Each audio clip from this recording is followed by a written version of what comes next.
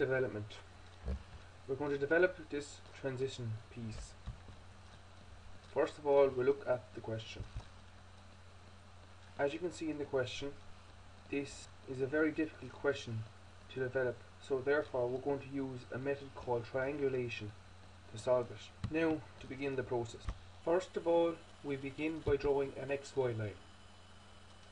Now we draw our piece in elevation. Now we project down our lines from elevation to plan and also across to the end view. Now we can draw in our plan. We will draw a 45 degree construction line which will help rotate our points in plan up to end view. We take all points from the we take all points from the plan and rotate them up to the end view. This will help create the widths. This is used. We use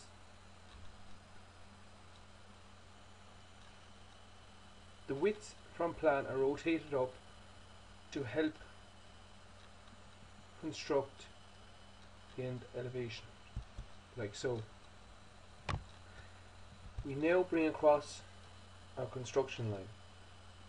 This will help towards the development of the transition piece.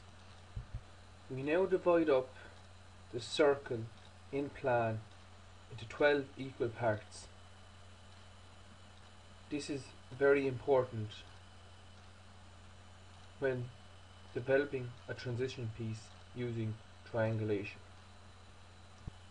The purple line in elevation helps create the true heights from plan by rotating our sectional points from plan up to elevation as shown by the purple line which is rotated from plan and is brought vertically up to the elevation till it meets the purple height line in the elevation. We join this point back to the edge in elevation and this creates our first true height. We do the same again with another point in plan and again we locate another true height in the elevation. We do this process again to find and locate another true height in the elevation and finally we do it once more to create the last true height we need to develop the transition piece. We label corners A, B and C. This will aid in the development process. We also label 1, 2, 3 and 4. It is very important that you note 1, 4, 2 and 3 in the sequence they occur because in plan line 4 is rotated and actually gives us a longer distance in elevation this is very important now we can take a 120 millimeter line and divide it into which is 60 here and 60 here as in plan or in elevation our overall distance between A and D is 120. This point here is located by stepping off our radius which is located from the purple line from both ends. Now we can do the same again to locate another edge which would be A and B into development and this distance here is your true length here which is 70 now we can step off to locate another apex point which is important in the solving of this problem.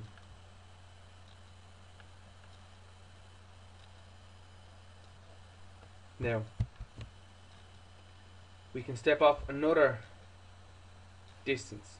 Note this distance between B and C will be divided like before with A and D. So instead of this line being 120 in fact it is only 60 millimeters so we can join these points back up and create the edge view which will be this perpendicular height here now like above this construction line we can do the same below it. Like so locating the same points.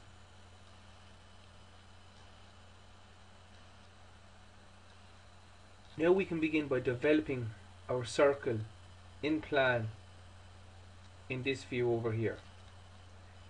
Note this circle will be very similar an unrolling of tissue or toilet roll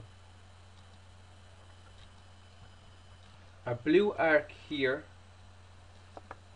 is the same distance as our blue line up here in plan. Now we need to find the distance between two of these green sectional cuts and step it off from our apex here. This will locate this point where the blue line comes in contact with the circle in plan. Like so. Now we do the same thing again. We get the yellow line and swing another point which will create another point in the development. And likewise again with the purple line. This will create three points in plan on the development. And again another point which at least will be uh, four points which will be one two three and four in plan and brought over to the development over here. We can then do the same process over again again beginning with the blue line which is got from this true height here and swung from this point here this time. And again the same distance within these two green sectional lines or this arc to locate our point. Same process again like before. And now we can join up these points now as done previous these points here will be all similar to these points here. So therefore we can just mirror across these points. Like so. Now finally the true development of the transition piece